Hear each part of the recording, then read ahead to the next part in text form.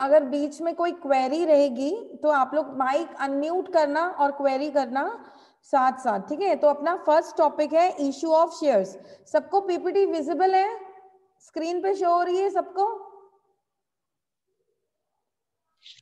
Yes ma'am है ना? Yes ma'am हाँ माइक म्यूट कर लेंगे सब तुरंत है ना? कहीं डाउट होगा तो अनम्यूट करना या फिर चैट में भी टाइप कर सकते हैं आप सब। देखो, अगर आप एम कॉम कर रहे हैं मास्टर्स में तो आपको थोड़ा सा थ्योरी में फोकस करना पड़ेगा। प्रैक्टिकल और थ्योरी इक्वल इंपॉर्टेंस रखेगा आपका इस सब्जेक्ट में। नेक्स्ट देखो। इशू ऑफ़ शेयर्स के लिए सबसे पहले कंपनी को पढ़ना ज़रूरी है कि कंपनी क्या है। कंपनी एक्ट 2013 को भी जानना बहुत ज़रूरी है। कंपनी क्या होता है, देखो company is an artificial person created by law having separate legal entity with a perpetual succession and a common seal देखो, आप लोगों का तुरंत बेस क्लियर कर रही हूँ मैं। याद रखना कंपनी लॉ सब्जेक्ट आपने पढ़ा था? बीकॉम सेकेंड ईयर में म्यूट कर लो बेटा माइक उसका भी म्यूट नहीं है। रिया सिंह हाँ ओके तुरंत माइक म्यूट कर लिया करो। देखो, आपने जो बीकॉम सेकेंड ईयर में कंपनी लॉ पढ़ा था और कॉर्पोरेट अकाउंट ये सब्जेक्ट जो आप पढ़ रहे हो एडवांस अकाउंटिंग वो उन दोनों का मर्जर पढ़ोगे आप। थ्योरी की भी उतनी इंपॉर्टेंस रहेगी। इशू ऑफ़ शेयर्स शेयर्स क्या होते हैं किसी कंपनी के? बताओ। या कंपनी क्या होती है?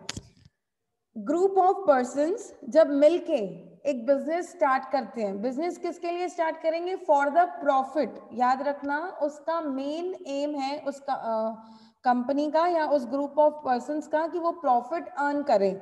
और उसमें वो लोग जो कैपिटल इन्वेस्ट करते हैं या जो पूंजी लगाते हैं वो लोग, वो किसके थ्रू लगाते हैं?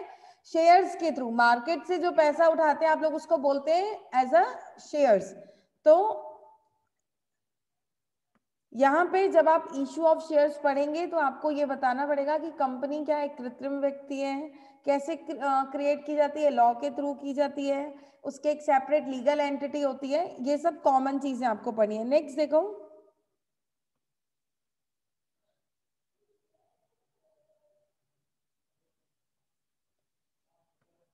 देखो बेसिकली दो टाइप की होगी कंपनी एक होगी प्राइवेट और एक पब्लिक मैक्सिमम कितने चाहिए रहेंगे? देखो प्राइवेट में 200 और पब्लिक में कोई लिमिट नहीं है, लेकिन कम से कम दो लोग चाहिए कंपनी को स्टार्ट करने के लिए और किसमें? पब्लिक कंपनी में कम से कम सात।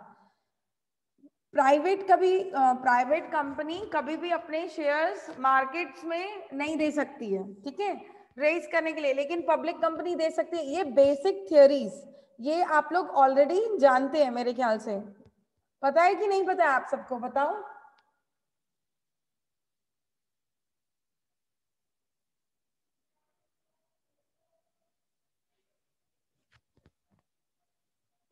इसमें ऐसे भी हो सकता है कि आपको सारे क्वेश्चंस थ्योरी ही दे दे अटेम्प्ट करने के लिए, पाँचों यूनिट में प्रैक्टिकल सब्जेक्ट में भी। जिसे बीकॉम में क्या होता था, आपको थ्योरी प्रैक्टिकल थ्योरी प्रैक्टिकल आता था बट एमकॉम में क्या हो सकता है, आपको पूरे के पूरे थ्योरी लिखने के भी ऑप्शंस आ सकते हैं। तो डिटेल्स और डेटा पे ज़्यादा ध्यान देना रहेगा आपको इस बार। आगे देखो। शेयर्स देखो इश्यू ऑफ़ शेयर्स अगर हमारा टॉपिक है, अंशों का निर्गमन तो पहले ये पता होना चाहिए कि अंश कितने प्रकार के होते हैं। टू टाइप्स ऑफ़ शेयर्स होते हैं। एक होते हैं प्रेफरेंस शेयर्स और एक इक्विटी शेयर्स प्रेफरेंस शेयर्स को क्या बोलते हो आप लोग? पूर्वाधिकार अंश पूर्वाधिकार अंश और इक्विटी शेयर्स को क्या बोलते हो आप? समता अंश बोलते हो। दोनों के बीच का समता अंश समता अंश दोनों के बीच का डिफरेंस कोई एक्सप्लेन करेगा मेरे को? कोई भी? इन दोनों के बीच का कोई डिफरेंस एक्सप्लेन करेगा? कि पूर्वाधिकार अंश मैम प्रेफरेंस शेयर वो हाँ। मैम प्रेफरेंस शेयर वो शेयर होते हैं जिसको जैसे कंपनी कोई डिसॉल्व होती है हाँ। तो पहले उन लोग को शेयर बांटा जाता है और बाकी बचा हुआ जितना शेयर या प्रॉफिट या जितना भी कुछ बचा रहता है इक्विटी शेयर में बांटा जाए मतलब बेसिकली जो प्योर प्रॉफिट और लॉस है वो इक्विटी शेयर में बंटते हैं। हाँ। बट प्रेफरेंस शेयर को प्रेफरेंस इसलिए दिया जाता है क्योंकि वो इन टाइम उन लोग को कुछ हेल्प करते हैं उन लोग मतलब एज अ परसेंटेज के हिसाब से हम लोग उसको बांटते हैं उन हाँ, लोग का जो उनको एक आ, सही बोल रहे उनको ना जो प्रेफरेंस शेयर्स होते हैं पूर्वाधिकार अंश उनको ना एक फिक्स्ड अमाउंट ऑफ़ डिविडेंड मिलता है। बट प्रॉब्लम क्या होती है इक्विटी शेयर्स के साथ? अगर उनको हम नहीं भी देते हैं अगर कंपनी के पास पैसा नहीं है अगर हम उनको नहीं भी देते हैं तो चलता है इक्विटी शेयर्स में। लेकिन प्रेफरेंस शेयर्स को हमको डिविडेंड देना पड़ता है। बट इसका एक सेकेंड पॉइंट ये भी होता है जब किसी चीज़ के साथ कुछ अच्छा होता है तो एक बुरी चीज़ भी होती है तो ये क्या होता है, जब कंपनी बंद होती है और कंपनी के पास जब लास्ट में प्रॉफिट बचता है तब क्या होता है, वो पूरा का पूरा प्रॉफिट इक्विटी वालों के पास जाता है। प्रेफरेंस शेयर्स के पास सिर्फ़ डिविडेंड जाएगा। हाँ उन्होंने जितना इन्वेस्ट किया था कंपनी में सपोज़ किसी ने पाँच हज़ार लगाए थे, किसी ने दस हज़ार मतलब जितने के उनके शेयर्स थे, उतना ही अमाउंट किसको मिलता है? प्रेफरेंस को। लेकिन इक्विटी को उससे ज़्यादा भी मिल सकता है। मतलब जितना का शेयर्स बचा रहेगा प्रॉफिट वो पूरा का पूरा इक्विटी को मिलता है। इसलिए इक्विटी शेयर्स को कंपनी के ओनर्स भी कहते हैं, ये याद रखना। प्रेफरेंस और इक्विटी में डाउट है किसी को तो पूछ सकते हो जल्दी से। देखो, इसमें लिखा है मैंने एक line they are the real risk bearers इनको, ये देखो रियल रिस्क यही लोग बियर करते हैं, क्योंकि अगर एक साल कंपनी के पास सिर्फ़ इतना डिविडेंड बच रहा है कि वो सिर्फ़ प्रेफरेंस को दे सकती है तो वो लोग प्रेफरेंस को देंगे और इक्विटी को नहीं मिलेगा तो वो लोग कुछ भी नहीं कर पाएँगे। तो एक्चुअल रिस्क इक्विटी शेयर्स वालों का होता है। नेक्स्ट देखो इसमें। अब देखो, ये टर्मिनोलॉजी हमको यूज़ करनी है जब हम जब हम प्रैक्टिकल स्टार्ट करेंगे इश्यू ऑफ़ शेयर्स का हम कल से ही प्रैक्टिकल स्टार्ट करेंगे। तो ये टर्म्स देखो, हमको पता होने चाहिए प्रोस्पेक्टिस क्या होता है? इनविटेशन होता है जो हम पब्लिक को देते हैं फॉर द शेयर्स मतलब प्रोस्पेक्टस में इंफॉर्मेशन रहती है कि कौन सी कंपनी है, कितने शेयर्स वो इशू करने जा रही है। मतलब एक प्योर कट इनविटेशन होता है। अगर आप लोगों ने न्यूज़पेपर की कटिंग्स वगैरह देखी होगी तो उसमें जब कंपनी अपने मार्केट में शेयर्स इशू करती है तो उसमें वो इन्फॉर्मेशन देती है, ये कंपनी है, एक शेयर दस रुपए का होगा। कम से कम लोगों को 500 शेयर्स के लिए अप्लाई करना पड़ेगा। उससे कम जो अप्लाई करेगा, हम उनको शेयर्स नहीं देंगे। फिर कंपनी एप्लीकेशन में कितना लेगी? मतलब आवेदन में अलॉटमेंट में मतलब आवंटन में कितना लेगी? शेयर कॉल मनी पे मतलब जब कंपनी कॉल करती है पैसे के लिए तो उसमें क्लियर कट पूरा इंफॉर्मेशन रहता है। तो उसको बोलते हैं प्रोस्पेक्टस जिसके लिए वर्ड देखो क्या यूज़ किया है? Invitation to public for subscription of shares और डिबेंचर्स हाँ इस साल आपके सिलेबस में इशू ऑफ़ शेयर्स के साथ हम इशू ऑफ़ डिबेंचर्स भी पढ़ेंगे। सेम रहेगी एंट्री सेम रहेगी मीनिंग बस हम क्या करेंगे? शेयर्स की जगह पे डिबेंचर्स वर्ड को यूज़ करेंगे।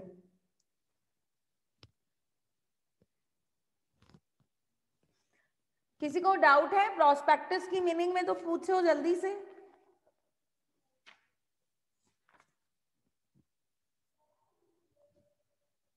किसी को डाउट है?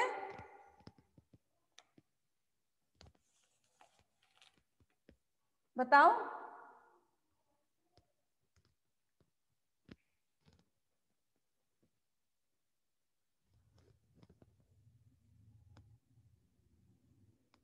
नेक्स्ट देखो। कैपिटल कैपिटल क्या होता है? पूंजी। इन केस ऑफ़ कंपनी अगर कंपनी है और अगर हम पब्लिक के थ्रू मनी रेस कर रहे हैं मतलब पब्लिक कंपनी है या फिर अगर हम पब्लिक के थ्रू मनी रेस कर रहे हैं मतलब तो जो मनी जो वो लोग कंट्रीब्यूट कर रहे हैं तो जो लोग हैं, वो क्या कहलाते हैं? शेयर होल्डर्स शेयर होल्डर्स को क्या बोलते हो? हिंदी में आप लोग? सदस्य अंशदाता। क्या बोलते हो आप लोग शेयर्स को?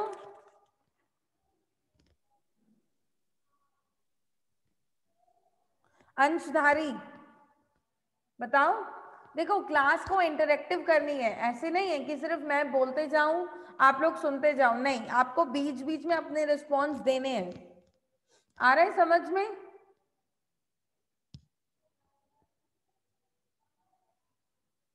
रिया सिंह यस मैम हाँ बेटा बीच बीच में आप सबको रिस्पॉन्ड करना है कि नहीं करना है? करना है मैम क्लास इंटरेक्टिव होनी चाहिए। ऐसे नहीं कि प्रवचन जैसे मैं यहाँ से बोलते रहूँ और आप लोग सिर्फ़ माइक म्यूट करके सुनते रहे। नहीं। सबको एक्टिव होना है। सही है या गलत है, इसकी टेंशन नहीं लेनी। है आपके माइंड में जो भी आ रहा है पॉइंट्स आपको बताना है। देखो, आप लोग मास्टर्स कोर्स कर रहे हो, है ना? बैचलर्स कोर्स नहीं है कि आए क्लास में लेक्चर सुने और गए। नहीं इंटरेक्टिव होना है। पर्सनालिटी कैसे डेवलप करोगे? अपनी आगे चल के कैसे करोगे? तो इंटरेक्टिव रहो पूरे सेशंस में। आ रहा है समझ में? ये सबके लिए है। यस मैम है ना? अभी भी सिर्फ़ एक ही इंसान रिप्लाई कर रहा है, अगर मैंने नाम पिन पॉइंट किया तो। बाकी तो बी इंटरेक्टिव कुछ भी आपके माइंड में आता है तो आप सब रिस्पॉन्ड करेंगे। गलत हो या सही हो, उसकी टेंशन नहीं लेनी है किसी को भी। अगर गलत है तो उसके लिए हम बैठे हैं करेक्ट करने के लिए। आगे देखो। देखो शेयर कैपिटल शेयर कैपिटल क्या है? जो कैपिटल रेज की गई है, किसके थ्रू शेयर्स के थ्रू वो कैपिटल या वो पैसे जो शेयर्स के थ्रू मंगवाए गए हैं, उसको बोलते हैं शेयर कैपिटल नेक्स्ट देखो ऑथराइज्ड कैपिटल अधिकृत पूंजी. ऑथराइज्ड कैपिटल क्या होती है? देखो क्या लिखा है? ऑथराइज्ड कैपिटल यानी अधिकृत पूंजी. ये एक मैक्सिमम अमाउंट होता है कंपनी अपने पूरे लाइफ टाइम में, याद रखना, कंपनी अपने पूरे लाइफ टाइम में इससे ज़्यादा पैसे इशू नहीं कर सकती है। कंपनी अपने पूरे लाइफ टाइम में इससे ज़्यादा अमाउंट इशू नहीं कर पाएगी। ये होता है ऑथराइज कैपिटल देखो, मैं कुछ टाइप कर रही हूँ, अगर आपको दिख रहा हो तो। सपोज़ अगर कंपनी ने, जब रजिस्ट्रार ऑफ़ कंपनीज़ होते हैं, जिसके साथ परमिशन लेते हैं कंपनी स्टार्ट करने के टाइम सपोज़ कंपनी ने लिखा है कि उसकी शेयर कैपिटल 50 करोड़ रहेगी पूरे लाइफ टाइम 50 करोड़ दिख रहा है जो मैंने टाइप किया आप लोगों को? यस मैम है ना? तो देखो अगर एक कंपनी अपने मेमोरेंडम ऑफ़ एसोसिएशन में ये लिखवाती है मेमोरेंडम और आर्टिकल्स पढ़ा है ना आप लोगों ने मेमोरेंडम क्या होता है? कंपनी का प्रिंसिपल डॉक्यूमेंट होता है जिसमें कंपनी के बारे में सारी इंफॉर्मेशन दी रहती है।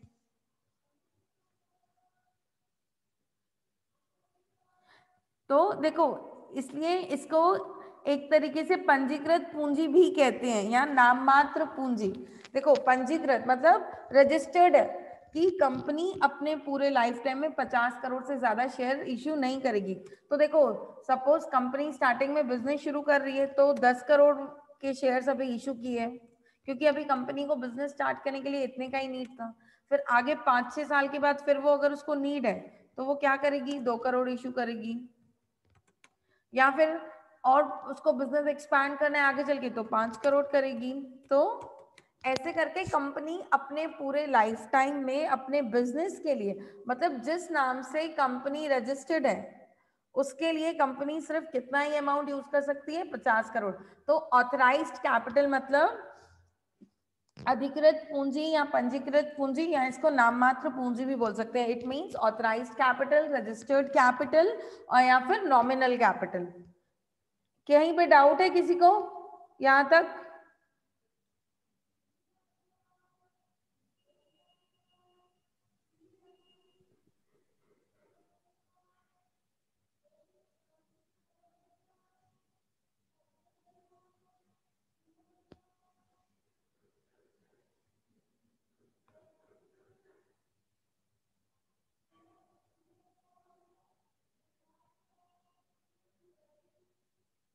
बताओ, कहीं डाउट है क्या किसी को?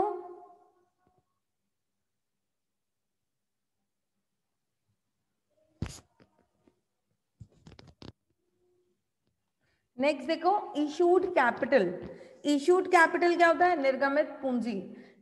ये पार्ट है किसका? ऑथराइज्ड कैपिटल का. ये पार्ट है किसका? ऑथराइज्ड कैपिटल का ये पार्ट है। मतलब मैंने अभी बताया ना कि कंपनी अपने पूरे लाइफ टाइम में इतना पैसा ही इशू कर सकती है, इससे ज़्यादा नहीं कर सकती है। तो ये वही है कि इस ऑथराइज्ड कैपिटल मतलब इस पंजीकृत पूंजी में से कंपनी इतना ही इश्यू कर रही है अभी। तो उसको बोलेंगे इश्यूड कैपिटल सपोज़ जैसे मैंने बताया था कि कंपनी के पास अथॉरिटी है पचास करोड़ की, लेकिन अभी वो सिर्फ़ कितना इश्यू कर रही है? दस करोड़। तो ये जो दस करोड़ इश्यू है इसको बोलेंगे issued capital issued capital means निर्गमित पूंजी. It cannot exceed authorised capital देखो, ये जो लाइन लिखा है it cannot exceed authorised capital मतलब इससे ज़्यादा ऑथराइज्ड कैपिटल से ज़्यादा कभी भी कंपनी इशू नहीं कर पाएगी. नेक्स्ट देखो क्या लिखा है? कॉल्ड अप कैपिटल याचित पूंजी बोलते हैं इसको. क्या होता है कंपनी पूरे पैसे एक साथ नहीं मंगवाकर किस्तों में मंगवाती है, ठीक? जैसे कभी एक शेयर मान लो सौ रुपए का है तो कंपनी आवेदन के टाइम पे तीस मंगवाई, फिर आवंटन के समय पे बीस मंगवाई तो टोटल कितना हुआ? सौ में से एक बार आवेदन में तीस और आवंटन में पचास हो गया। तो तीस सॉरी तीस और बीस तो टोटल कितना हो गया? फिफ्टी हो गया। तो अब बचा हुआ कितना अमाउंट है? फिफ्टी। तो कंपनी उसको धीरे धीरे अपने टाइम के अकॉर्डिंग मंगवाएगी तो उसको बोलते हैं याचित पूंजी मतलब called up capital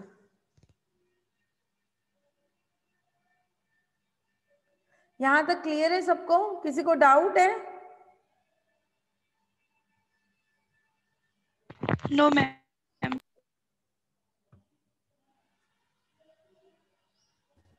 No, ma'am. Clear है? ठीक है. नेक्स्ट देखो एक वर्ड बता रही हूँ मैं आपको। पेड अप कैपिटल सुना है? चुकता पूंजी। यस मैम क्या होता है पेड अप कैपिटल Yes, जितना आप दे चुके हो मतलब जो कंपनी ने कॉल्ड अप किया है आपने उसको पे कर चुका है। पेड अप कैपिटल कौन पे किया है? कंपनी पे कर रही है शेयर होल्डर्स शेयर होल्डर्स हाँ बोलो कुछ बोल रहे थे तुम? मैम कौन? आप आप बोल रहे थे ना कुछ? नहीं मैं शेयर शेयर होल्डर की बात कर रहा था मैं। अच्छा देखो चुकता पूंजी पेड अप कैपिटल मींस मतलब याचित पूंजी का वह भाग जो कि कंपनी वास्तव में अपने अंशधारियों से नगद प्राप्त करती है, जो एक्चुअली अमाउंट मिल चुका है कंपनी को, ठीक? इसके अलावा एक टर्म आपको जानना ज़रूरी है, जिसको बोलते हैं अनइश्यूड कैपिटल अनिर्गमित। तो निर्गमित का जस्ट अपोजिट अनिर्गमित अनइश्यूड कैपिटल होता है एक वर्ड कि कंपनी ने अभी इतना इश्यू नहीं किया है। सपोज़ मैंने आपको बताया कि कंपनी की पूरी रजिस्टर्ड कैपिटल है पंजीकृत पूंजी है पचास करोड़, उसमें से अगर इसने अभी इश्यू किया है दस करोड़ तो बाकी बचा कितना अमाउंट था?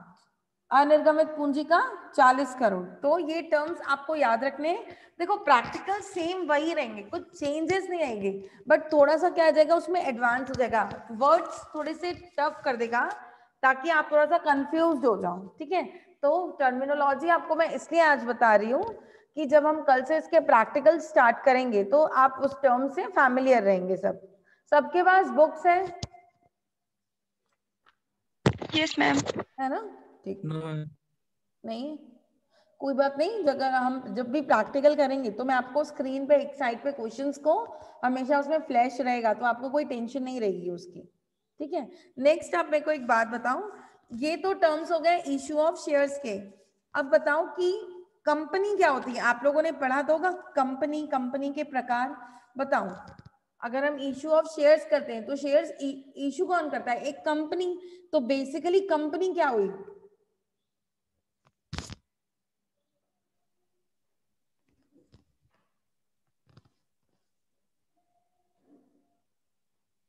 A group of people formed uh, for uh, for the uh, furtherance of business or or uh, मतलब to to gain profit. To gain profit okay first reason second reason कोई बता सकता है group of people form a company to earn profit और to start a business इसके अलावा कोई और बता सकता है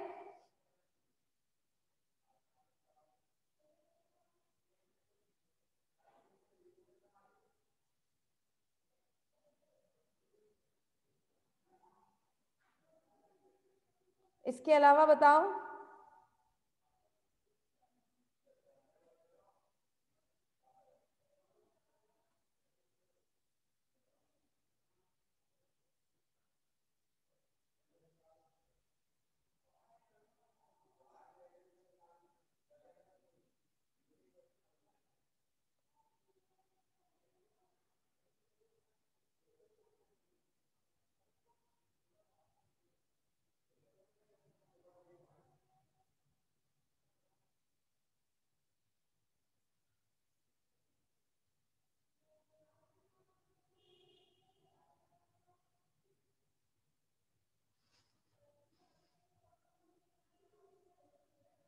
बताओ इसके अलावा?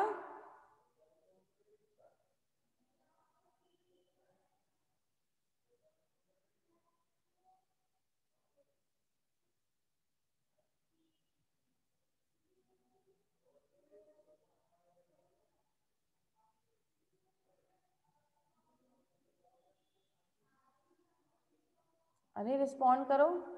इसके अलावा?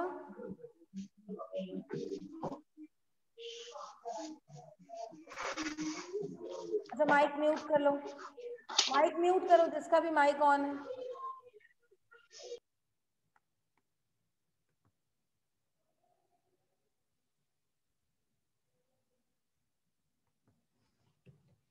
देखो, अब नेक्स्ट टॉपिक की तरफ़ मूव करते हैं अपन। काइंड्स ऑफ़ कंपनीज़ कंपनी के प्रकार। देखो, एक होता है दायित्व के आधार पर होता है, एक होता है संख्या के आधार पर और एक होता है आकार के आधार पर। तो आपके काम का देखो दो है। अगर अगर हम सदस्यों के दायित्व के आधार पर देखते हैं it means on the basis of liability of its members तो एक होती है कंपनी लिमिटेड बाय शेयर्स और एक होती है कंपनी लिमिटेड बाय गारंटी तो कंपनी लिमिटेड बाय शेयर्स क्या होगा? वो कंपनी जो अपने पैसे मार्केट में शेयर्स के थ्रू इशू करती है। मतलब अंशों द्वारा सीमित दायित्व वाली कंपनी और एक होती है गारंटी द्वारा सीमित दायित्व वाली मतलब कंपनी लिमिटेड बाय गारंटी तो गारंटी वाला क्या रहता है?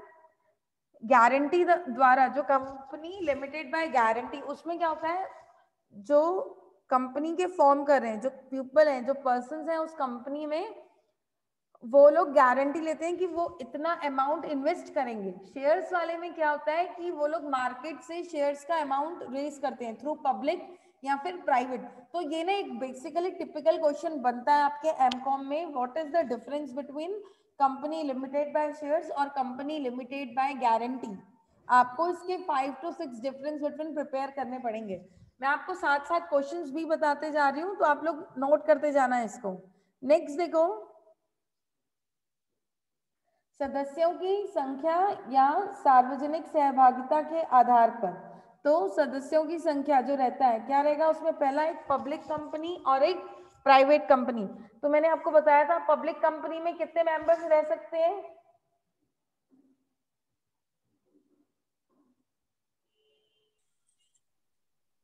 मैम मिनिमम मिनिमम बताओ कम से कम कितने रह सकते हैं? पब्लिक में सेवन मैम सेवन और क्या बोलते हैं, उस कंपनी में ना पब्लिक लिमिटेड शब्द जो रहता है सॉरी पब्लिक लिमिटेड नहीं लिमिटेड लिमिटेड वर्ड लिखना कंपलसरी होता है और एक चीज़ याद रखना, ऐसी कंपनी जो पब्लिक कंपनी है, उसकी ना जो चुकता पूंजी है मतलब जो न्यूनतम चुकता पूंजी है, वो कम से कम पाँच लाख होगी या पाँच लाख से ज़्यादा होगी। रूल्स चेंज होते जाते हैं तो इस साल आपके रूल्स में कि ऐसी कंपनी की जो चुकता पूंजी है मतलब कितनी होनी चाहिए? न्यूनतम चुकता पूंजी ऐसी कंपनी की कम से कम पाँच लाख या उससे ज़्यादा, या फिर जो कंपनी अधिनियम एक्ट में टाइम टू टाइम डिसाइड करता है। ठीक है? आज के लिए इतना काफ़ी है। आपकी मीटिंग किसी भी समय लेफ़्ट हो जाएगी अभी। कल से अपन इसके प्रैक्टिकल स्टार्ट करेंगे। क्लियर है सबको? और एक वीडियो हम लोग यस एक वीडियो अपलोड करेंगे मैं इसमें एमकॉम आपके व्हाट्सएप ग्रुप में कि आपको जूम ऐप कैसे यूज़ करना है। कुछ स्टूडेंट्स ने यूज़ नहीं कर पा रहे हैं। तो एक बार आप उस वीडियो को ज़रूर देखना।